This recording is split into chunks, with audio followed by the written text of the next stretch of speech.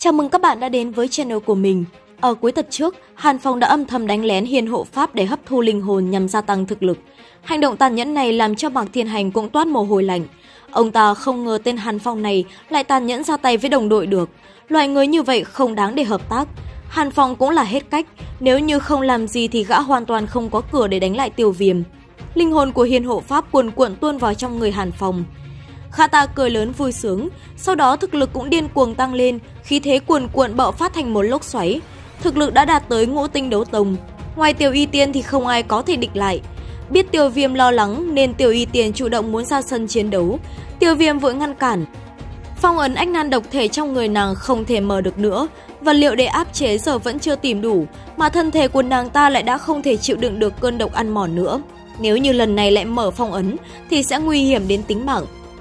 Tiểu Y Tiên lại kiếm cớ trấn an, nàng chỉ cần cầm chân tên kia thôi, sẽ không sao đâu, thủ đoạn thì mình có thừa. Tiểu Viêm chưa kịp nói thêm thì Tiểu Y Tiên đã lao lên, lúc này Hàn Phong đã dung hợp thành công, cơ thể gã trở nên to con hơn, cơ bắp cuồn cuộn.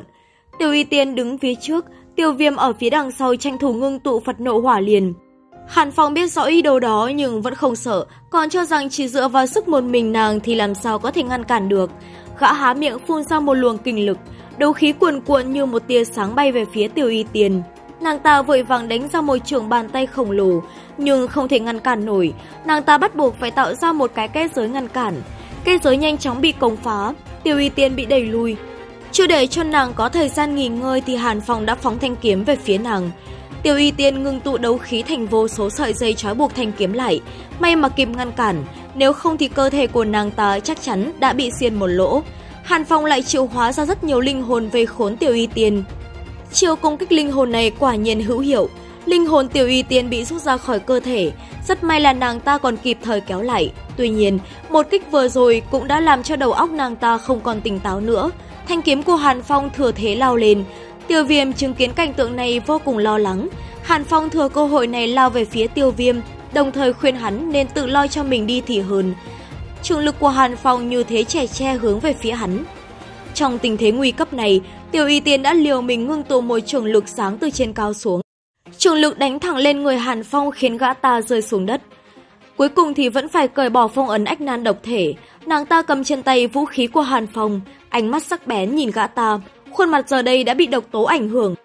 Rất nhiều tia độc lộ ra bên ngoài, tiêu viêm càng thêm gấp rút hơn. Hàn Phong tự tin gáy sớm, cho rằng nàng không phải đối thủ của mình. Tiêu Y Tiên đáp trả lời khiêu khích này bằng cách bẻ gãy thanh kiếm. Dư chấn bạo phát đẩy lui Hàn Phong về sau vài bước. Chưa kịp lấy lại thăng bằng thì lại bị nàng ta ném thanh kiếm vào mặt. Việc bẻ gãy kiếm khiến các linh hồn cắn trả. Dù trên người có thêm thương tích thì Tiêu Y Tiên vẫn rút kiếm xông lên. Hàn Phong dùng nắm đấm ngăn cản trực diện, hai người lao vào quyết chiến kịch liệt. Tia lửa liên tục bạo phát, đầu khí hai bên vai chạm tạo ra màn pháo hoa.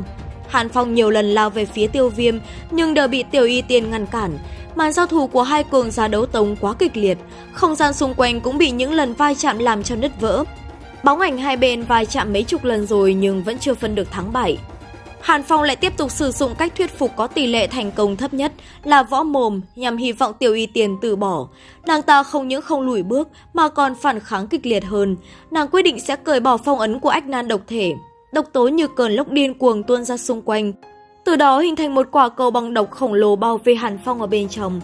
Hàn Phong lại gáy thêm vài cầu nữa, sau đó ngưng tụ đấu khí lao đến tác động vật lý vào người Tiểu Y Tiền. Hai người ở bên trong vòng xoáy độc giao thủ kịch liệt. Ưng Sơn lão nhân thì muốn bọn họ đánh đến lúc lưỡng bại câu thương, bọn lão sẽ thừa cơ đó để ra tay giành lại bồ đề hóa thể tiền. Lời vừa mới dứt thì đã bị uy áp của Phật nộ hòa liền và thẳng mặt.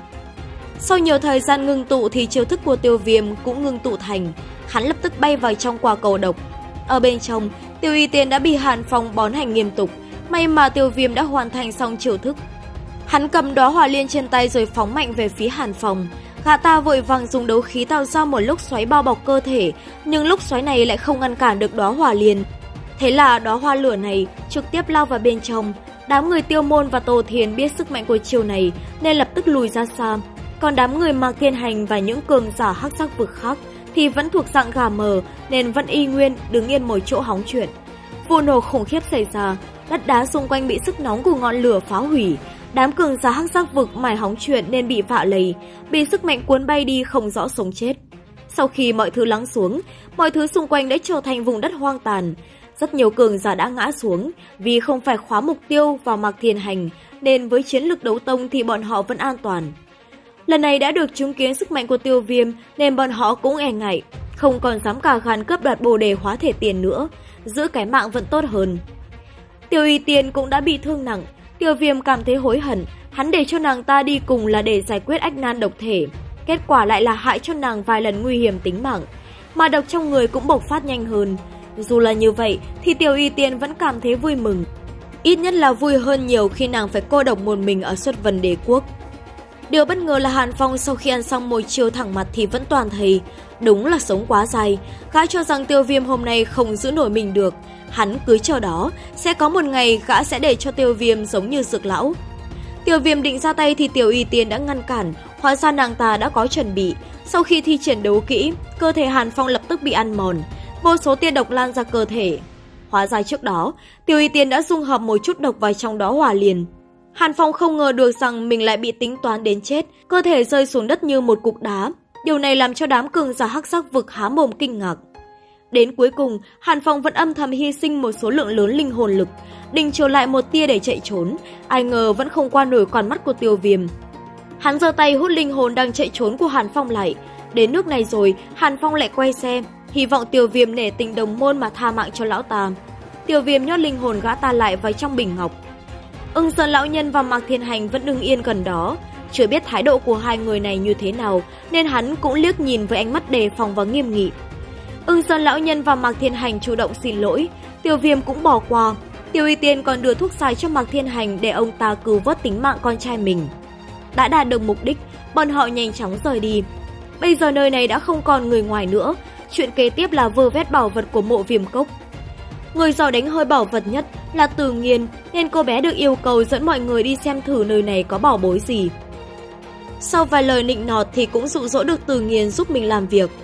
Cả Tiêu Viêm và Tô Thiên đều muốn xem cô bé sẽ sử dụng cách gì.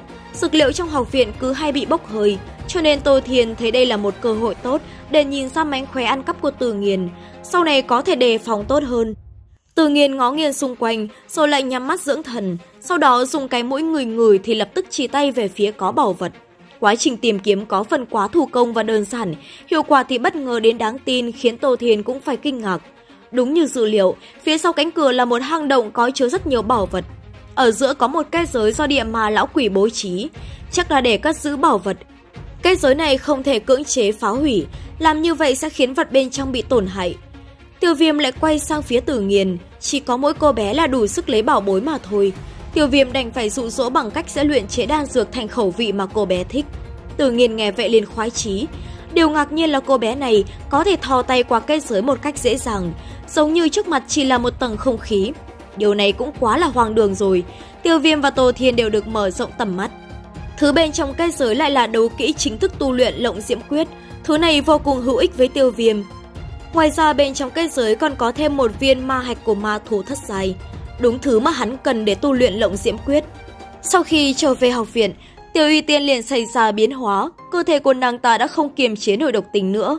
Chất độc điên cuồng tỏa ra xung quanh, học viện phải tạo ra một cây giới để cách ly độc. Suốt cuộc đã xảy ra chuyện gì với Tiểu Y Tiên và Tiêu Viêm sẽ giải quyết như thế nào? Các bạn hãy cùng mình đón xem các tập tiếp theo nhé. Xin chào và hẹn gặp lại!